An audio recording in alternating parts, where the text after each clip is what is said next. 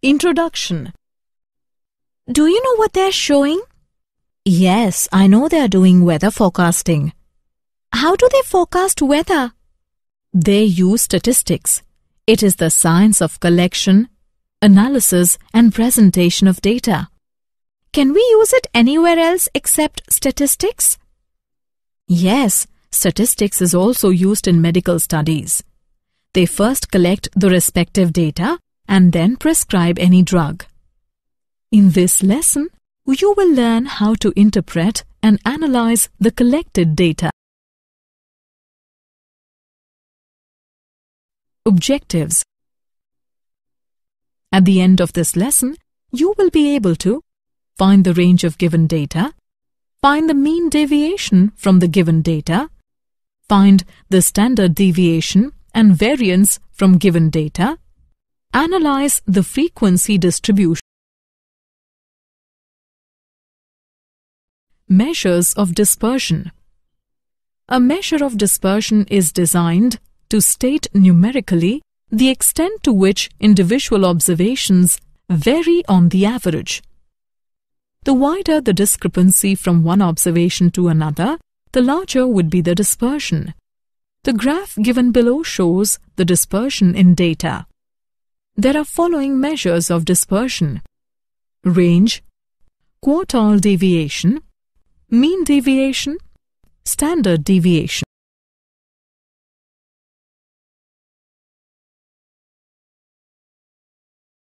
Range Range is defined as the difference between the largest and the smallest observations.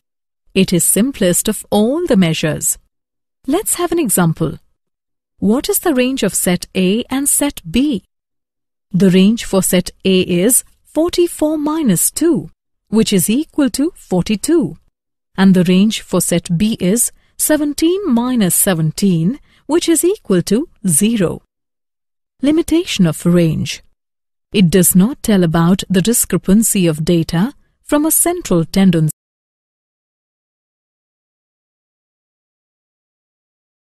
Mean deviation.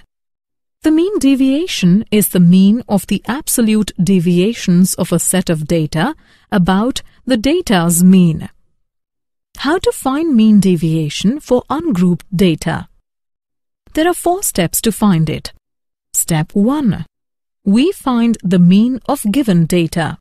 Step 2. The deviations of the respective observations from the mean. Step 3. The absolute values of the deviations. Step 4. Then we find the required mean deviation. Let's understand it with the help of an example.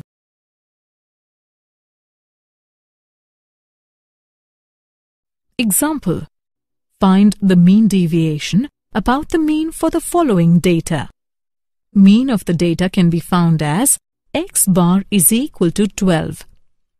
After that, we find the deviations of the respective observations from the mean as xi minus x bar is equal to minus 9, minus 5, minus 4, 0, 2, 5, 11. Then the absolute values of the xi minus x bar are 9, 5, 4, 0, 2, 5, 11. Finally, we find the mean deviation by using the formula summation from i is equal to 1 to 7 of xi minus x bar divided by 7 is 5.14. Mean deviation. How to find mean deviation for group data? The data can be grouped in two categories. Discrete frequency distribution, continuous frequency distribution. Discrete frequency distribution. If the given data occurs with random frequency, then it is called discrete frequency distribution. Mean deviation can be found by two methods mean deviation about mean, mean deviation about median.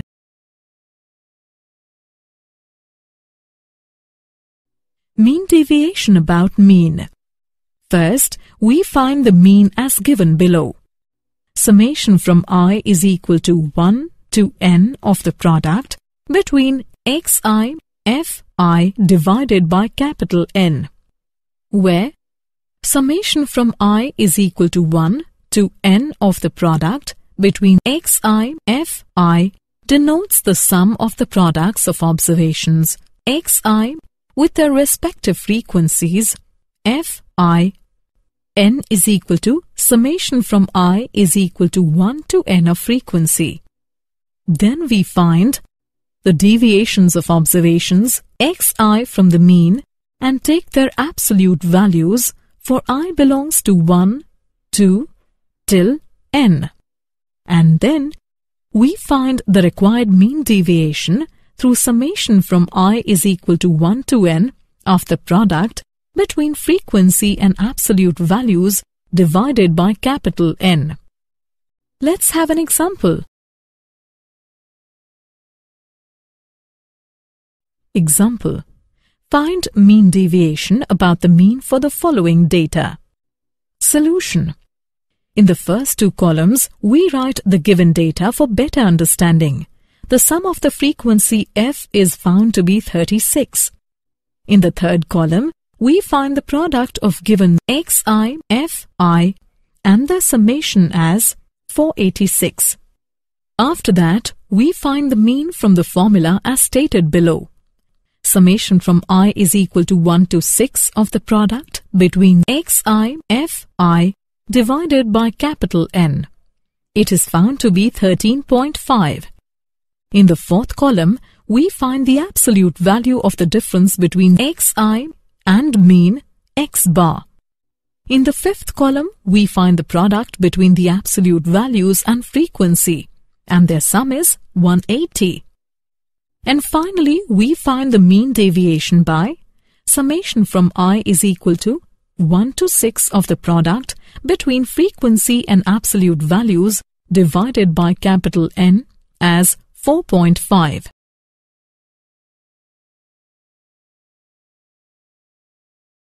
Mean deviation. Mean deviation about median. First, we find the median. After that, we find the mean of the absolute values of the deviations from median.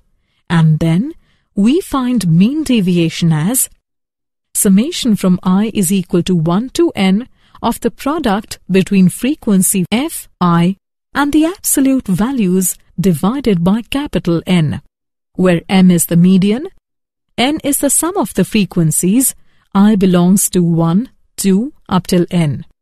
Let's have an example.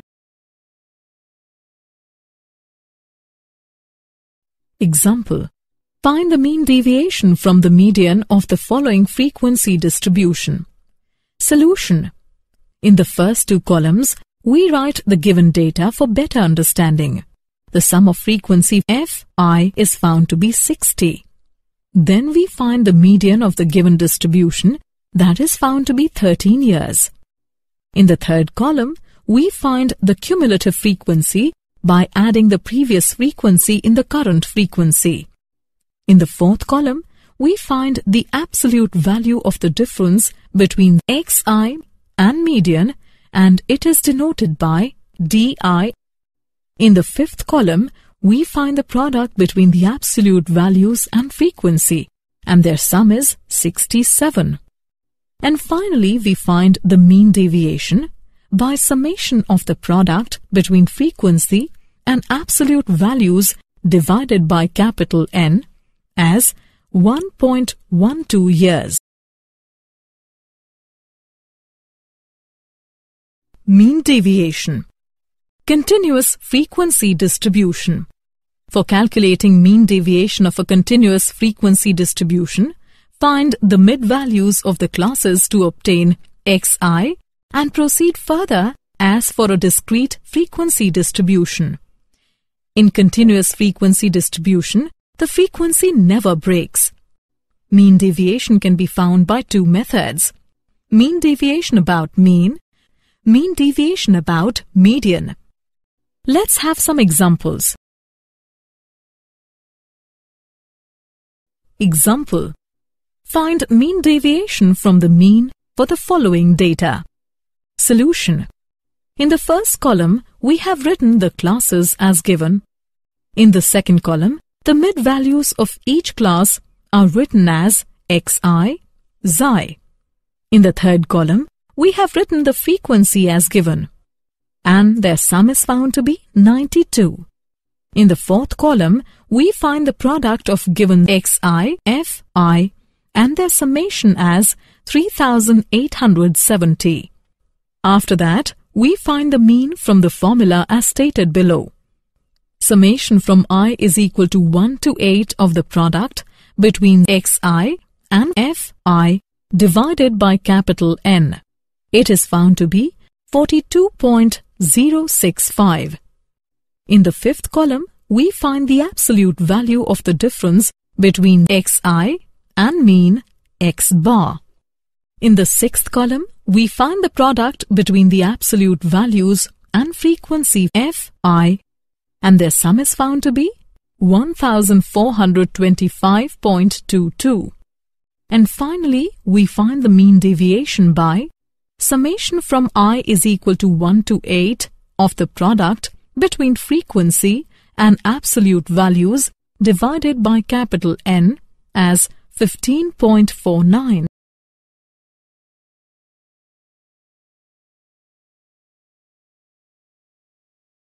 Mean deviation. We can calculate mean deviation about mean from a shortcut method. In this method, we introduce a new variable as di is equal to the difference between xi and a divided by h, where a is the assumed mean and h is the common factor. Now the formula for mean in this method becomes assumed mean plus summation from i is equal to 1 to n of the product fi and di divided by n and multiplied by h. Let's have an example.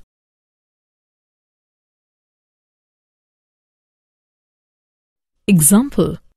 Find mean deviation from the mean for the following data by the use of shortcut method.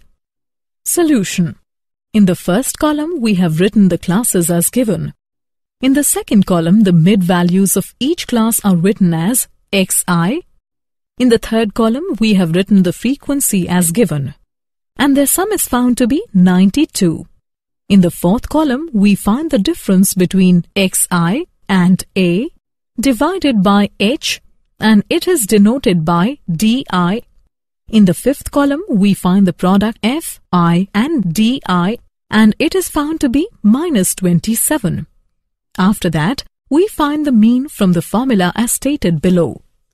Assumed mean plus summation from i is equal to 1 to n of the product Fi and Di divided by n and multiplied by h. It is found to be 42.065. In the sixth column, we find the absolute values of the difference between xi and mean x bar. In the seventh column, we find the product of frequency fi and the absolute values and their sum is 1425.22. And finally, we find the mean deviation by summation from i is equal to 1 to 8 of the product between frequency and absolute values divided by capital N as 15.49.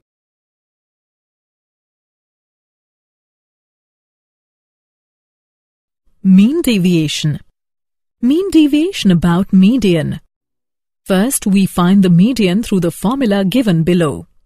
Lower limit plus difference between n upon 2 and cumulative frequency of the class just preceding the median class divided by f multiplied by h, where median class is the class interval whose cumulative frequency is just greater than or equal to n upon 2. n is the sum of frequencies. l is the lower limit. f is the frequency. h is the width of median class. c is the cumulative frequency of the class just preceding the median class. After median, the absolute values of the deviations of midpoint of each class xi from the median are calculated. Then the required mean deviation is summation from i is equal to 1 to n of the product between frequency fi and the absolute values divided by capital N.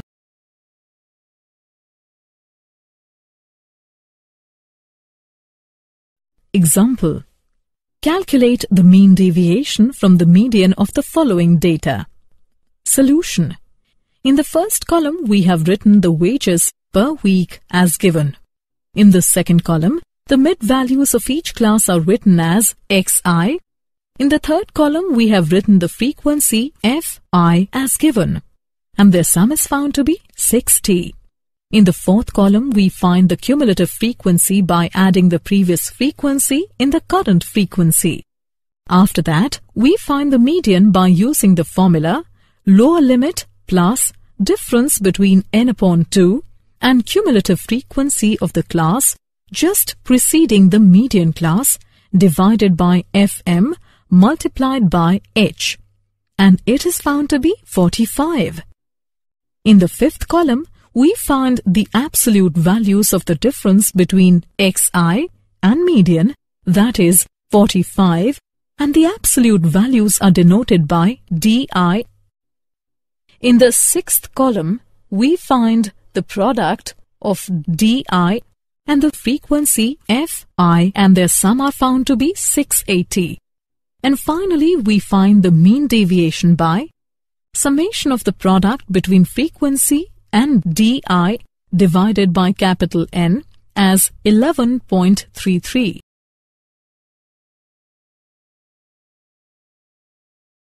Mean deviation Mean deviation also has its limitations. The greatest drawback of this method is that algebraic signs are ignored while taking the deviations of the items. This method may not give us very accurate results because median is not a satisfactory measure when the degree of variability in a series is very high. If we compute mean deviation from mean, that is also not desirable because the sum of the deviations from mean ignoring signs is greater than the sum of the deviations from median, ignoring signs. If mean deviation is computed from mode, that is also not scientific because the value of mode cannot always be determined.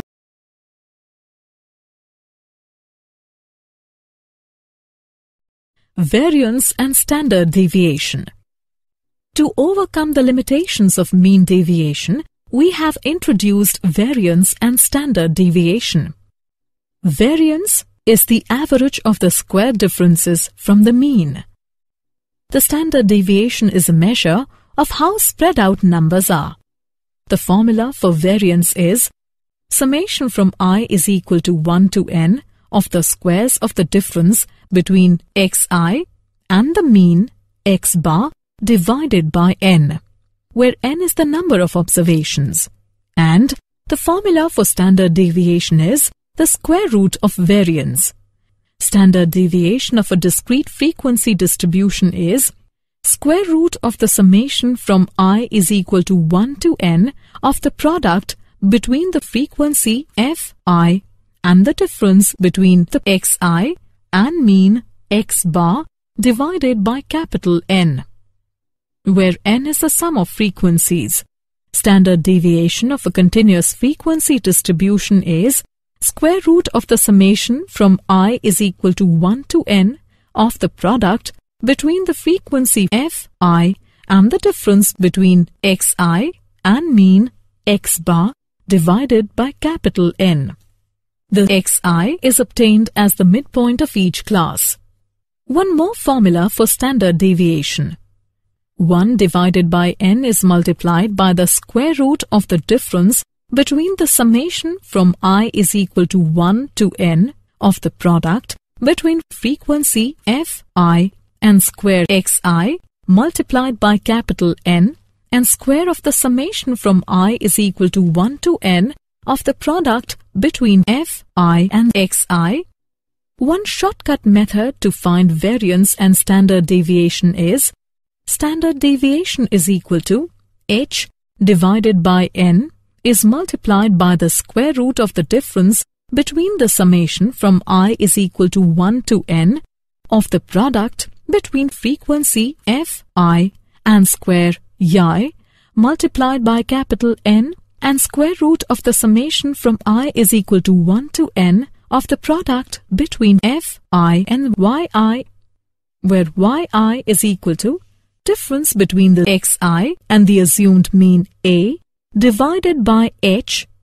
a is assumed mean, h is the common factor. Let's have some examples. Example Calculate the variance and standard deviation for the following data. Solution In the first column, we write all the given observations. After this, we find the mean of the observation by summing it and then dividing it by the number of observations, that is, 9 in this case. In the second column, we find difference of the observations from the mean x bar. In the third column, we find the squares of the difference between the observations from the mean x bar and their sum is found to be 960. And then finally, we find the variance as summation from i is equal to 1 to 9 of the squares of the difference between the observations from the mean x bar divided by 9. It is found to be 106.67.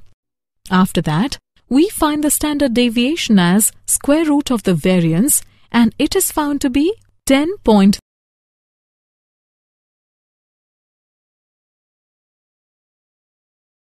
Calculate the variance and standard deviation for the following distribution. Solution. In the first two columns, we have written the xi and fi as given. The sum of frequencies fi is 59. In the third column, we find the product of fi and xi and their sum is found to be 1067. After that, we find the mean by summing the product of fi and xi and then divide it by the sum of frequency that is 59. It is found to be 18.08. In the fourth column, we find the difference between the xi and mean x bar. In the fifth column, we find the squares of the difference between the xi and mean x bar. In the sixth column, we find the product of frequency fi and the squares of the difference between the xi and mean x bar. And their sum is found to be 2344.558. And then we find the variance by summation from i is equal to 1 to 7 of the product between frequency and the squares of the difference between xi and x bar. It is found to be 39.73. After that, we find standard deviation by squaring root of 39.73 and it is found to be 6.30.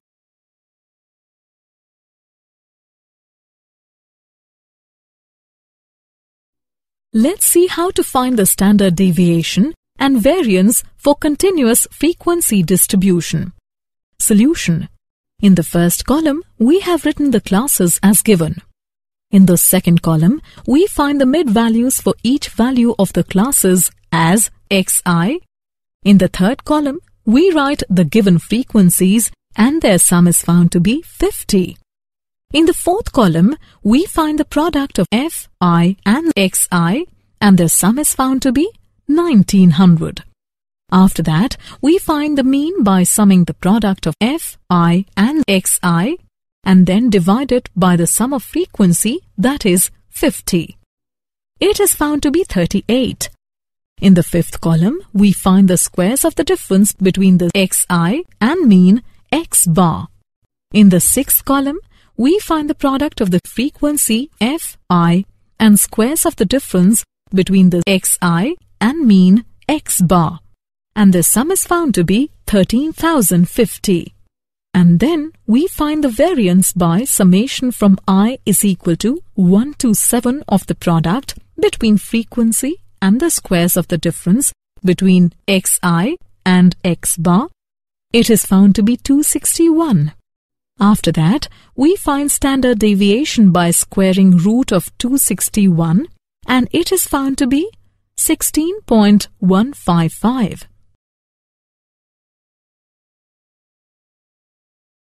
Analysis of frequency distribution. In this section, we introduce a new term called coefficient of variation. It is simply defined as the ratio of standard deviation of group of values to their mean. It is often multiplied by 100 to express the coefficient of variation as a percent. The graph given below will give you the idea how the frequency of the particular data is distributed. Mathematically, ratio of standard deviation to the mean multiplied by 100 to express it in percent. Comparison of two frequency distributions with the same mean. With the help of coefficient of variation, we can deduce that when two series have equal mean, then the series with greater standard deviation have more discrepancy of data. Example It is given that standard deviation and mean of two distributions are 6.18, 17.2 and 14.18, 62 respectively. What are their coefficients of variation? Solution. First, we find coefficient of variation for distribution 1 by finding the ratio of standard deviation to the mean, and it is found to be 0.359. In percent, it is 35.9%. And then we find coefficient of variation for distribution 2 by finding the ratio of standard deviation to the mean, and it is found to be 0.228. In percent, it is 22.8%. Did you know? Statistics is usually considered to be a distinct mathematical science rather than a branch of mathematics. Statistics is closely related to probability theory. The earliest writing on statistics was found in a 9th century book entitled Manuscript on Deciphering Cryptographic Messages. Most observational studies use statistics.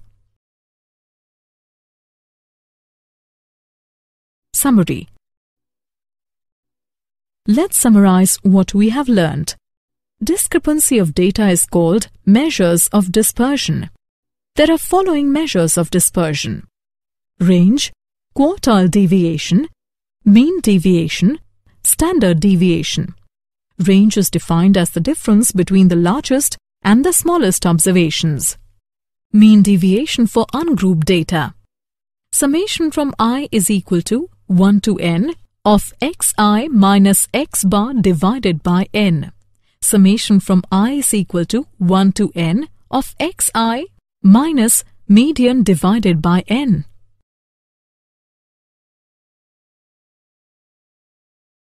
Mean deviation for group data. Summation from i is equal to 1 to n of the product between frequency and absolute values divided by capital N. Variance. Summation from i is equal to 1 to n of the squares of the difference between xi and the mean x bar divided by n. Standard deviation. Standard deviation is the square root of variance. Square root of the summation from i is equal to 1 to n of the product between the frequency fi and the difference between the xi and mean x bar divided by capital N. 1 divided by n is multiplied by the square root of the difference between the summation from i is equal to 1 to n of the product between frequency fi and square xi multiplied by capital N and square of the summation from i is equal to 1 to n of the product between fi and xi. h divided by n is multiplied by the square root of the difference between the summation from i is equal to 1 to n of the product between frequency fi and square yi multiplied by capital N and square of the summation from i is equal to 1 to n of the product between fi and yi. Coefficient of variation. Ratio of standard deviation to the mean multiplied by 100 to express it